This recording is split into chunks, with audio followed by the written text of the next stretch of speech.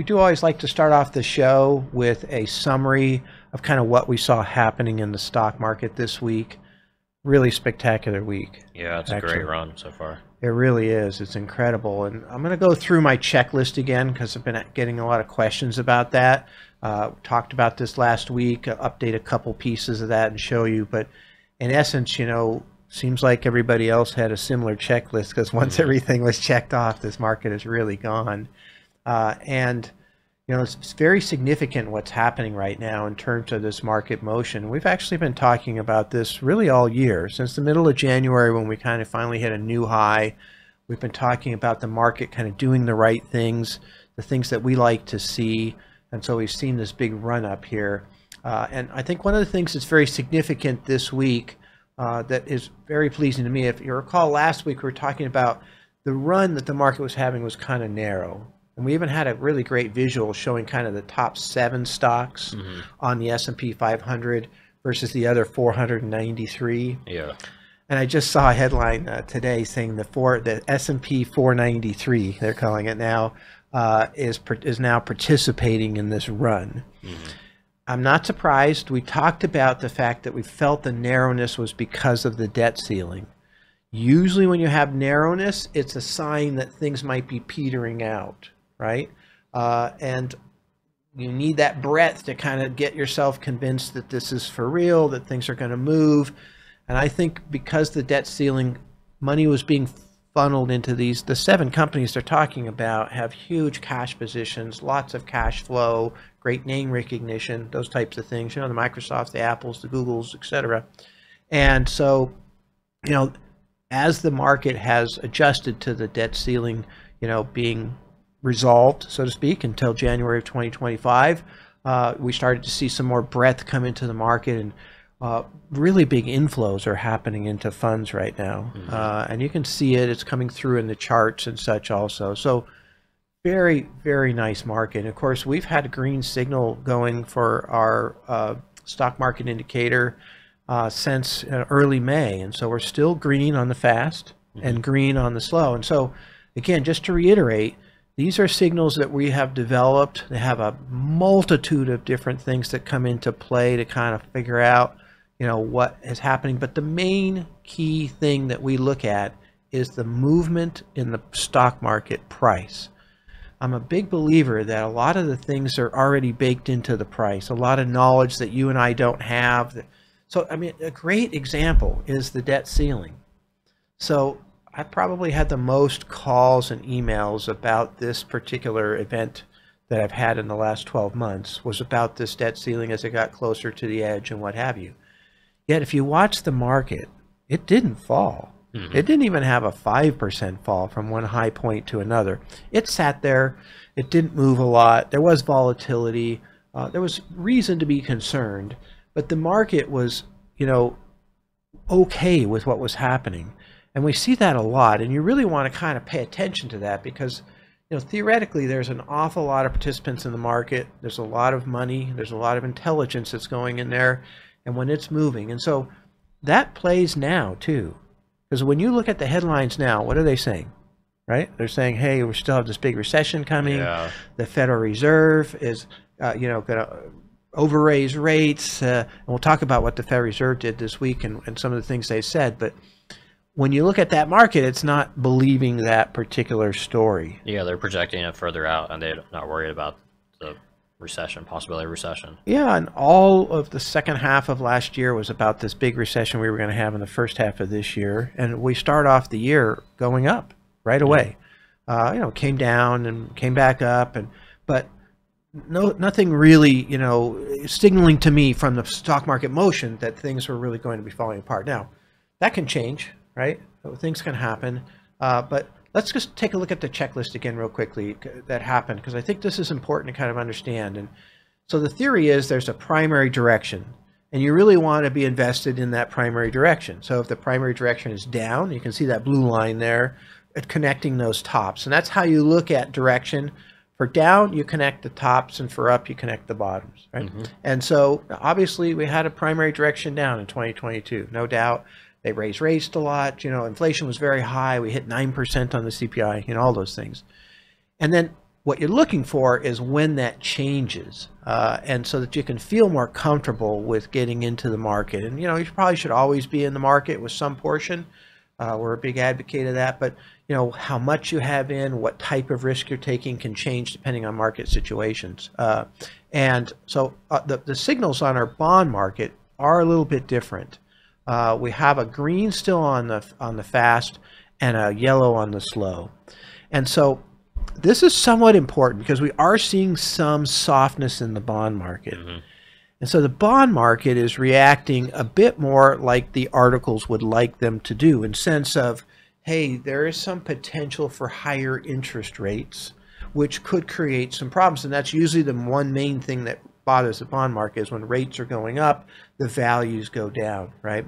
still green and yellow, but we're still seeing some softness even in that green. You know, the fast signal is very close. So, you know, we're, we're still watching that as far as that goes. And we'll talk about that differential here in a moment. But first thing on a checklist for me was just kind of breaking that trend line. So I trained it to red here just because it was a down motion. But we broke through it twice, uh, once really, uh, and then held, uh, which was nice. And again, I went through these already, so I'll do them fairly quickly. Uh, the 200 day moving average is another really big one. Uh, I had three moves through that didn't hold, and then finally, you know, we broke through and held. Uh, the Golden Cross, another really big one within the investment community. If you talk about the Golden Cross, it's called the Death Cross the other way when it yep. comes down. And this is the 50 day moving average, moving up through the 200 day moving average, right there where that arrow is. Uh, and so, again, we had that. That's spectacular. Uh, and one of the big ones for me is setting new higher highs, right? So you can see in those red circles, we were setting lower highs with big runs, huge runs, uh, but lower. And then this two green circles here, that's this January and the, the run that we're in right now. Uh, and of course, a little hard to see this, but a 20% up market is a bull market by mm -hmm. definition. We hit that last week, right? We talked about last week that the average run approximately for a bull market is five years long on the average rate of returns about 177%. Yeah, and even the worst bull market was still a two-year run and a 50% up market. So let's let's think about that for just a second because that that means a lot. So that means that basically everybody that's writing an article saying that the market's going to fall sometime in the rest of this year, 20%, 30% or whatever it is, what they're talking about is something happening that's never happened, you know, in the in the data set that we're looking at here. Yeah. Now, unfortunately, the data set that we're looking at doesn't probably have a pandemic. Mm-hmm. So it does make this a very strange environment. But actually, what's happened so far is that the pandemic has been on the positive side here in this year because people are spending money getting out and doing things. And there's still people that aren't doing as much as they were doing before the pandemic started, and that's still ramping up. And I look at that as kind of like reserve pent up demand, still coming online. And we just got retail sales today, and it was very good, you know, yep. and that continues to go. It continues to happen. Even some signs of life in the factory arena today in the reports uh, that came out. So, again, think about that for a minute if the market is going to come back down and it turn into a bear market, which would basically be falling 20% or more from here, um, and it happened before two years were up, it'd be the first time. First time for everything, but the probability becomes somewhat low. Yeah. Right. So that's important to remember how this goes. And so this is the one I wanted to update because we had not broken through uh, as of last week the high from last summer.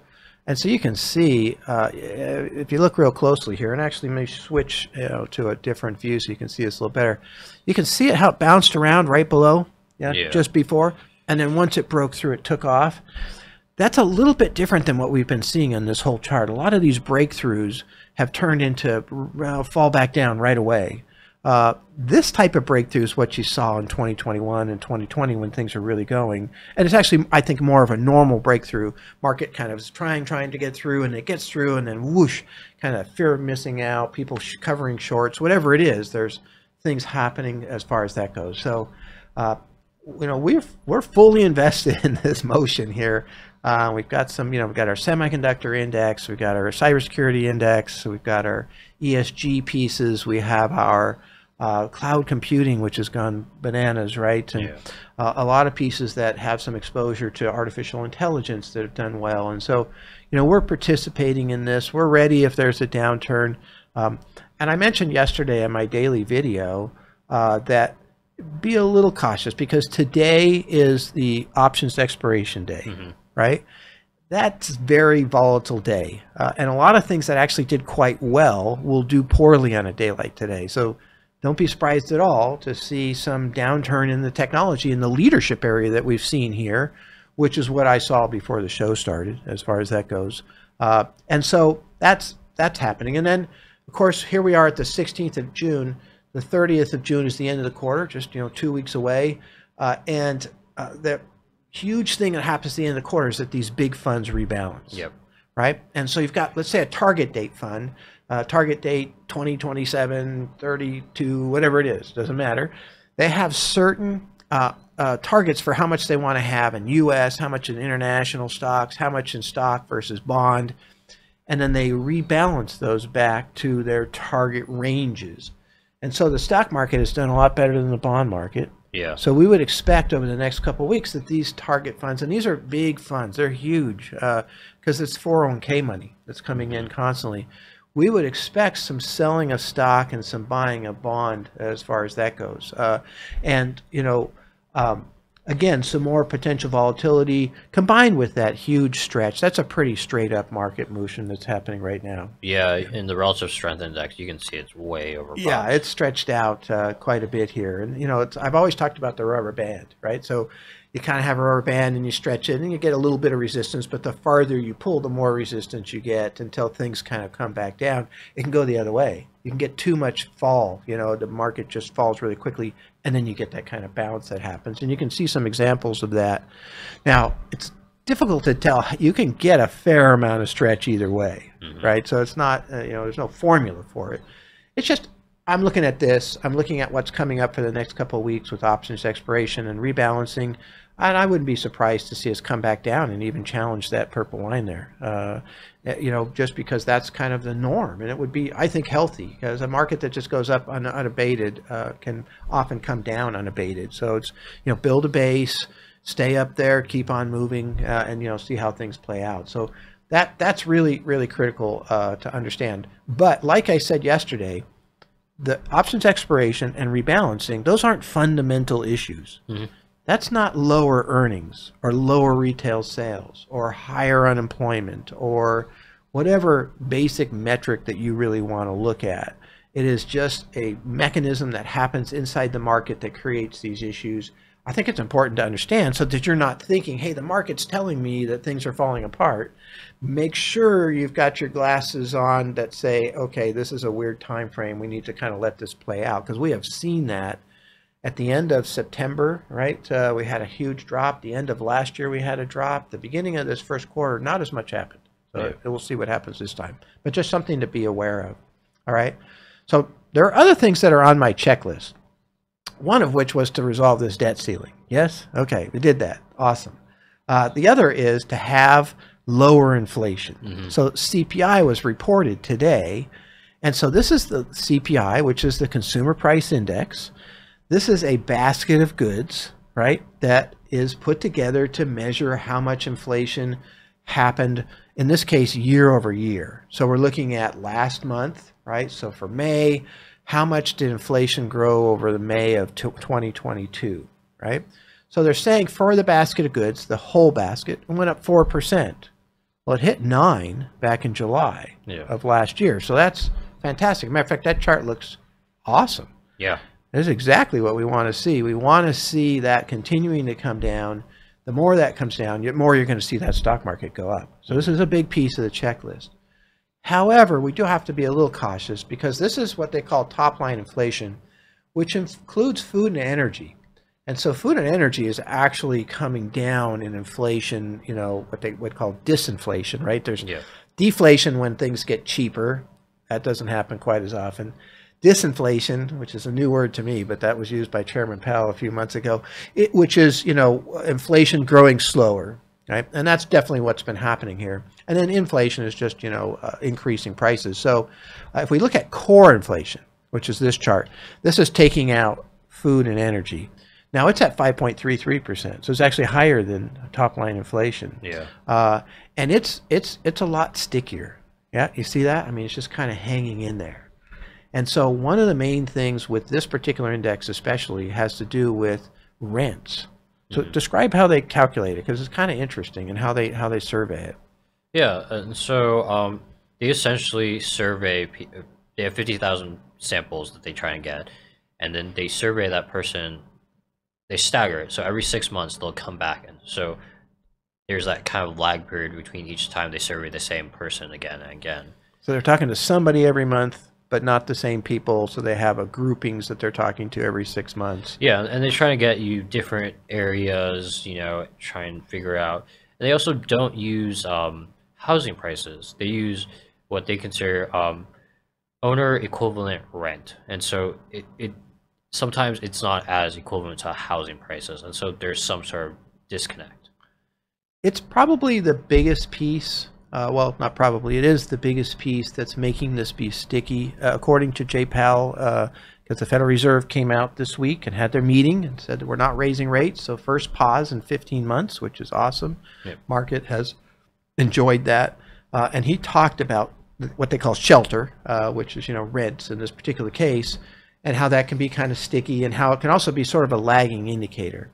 And it's one of the reasons that the that the Federal Reserve doesn't use this consumer price index as heavily uh, as they do the personal consumption expenditure index, uh, just because there is a, a, a different way and a, a bit more shelter in these. Now rents are expensive, right? And they you know are a big issue, and they're some a huge expense for people. They should be counted. Uh, how you count them is difficult. Uh, and, and, and you were telling me that Zillow has a measurement of rents based on the rents that are being asked for right now versus the rent that were being asked for last year in May. Yeah, and they're they're only in the two percent range, so Yeah. it's a it's a it's a stark difference. Yeah, so that's the differential in lag. So what's being asked for in rent is somewhat reasonable on increase in that kind of two three percent range, and what we're seeing in rent increases in the past was higher. And so when they're going doing these surveys, there's this lag. There's some hope and expectation that this core inflation will fall throughout the rest of this year because we're starting to see that lag in rents catch up to the reality of you know rents normalizing a bit more you know in this environment. So uh, that's that's our summary for this week. Uh, really great time frame this is fun. Uh, i really enjoy this uh, and you know so hopefully you've been able to follow along kind of showing you you know what we're working on and what have you. Uh, and right now you know again green light the bond market is something that's a little softer. We'll have to see what happens. But uh, look forward to being able to uh, talk to you again. We will not be having the show next week right? Uh, but we you know every week we try to cover this uh, summaries and what have you uh, so we'll try to fill that in too. So look forward to uh, seeing you next time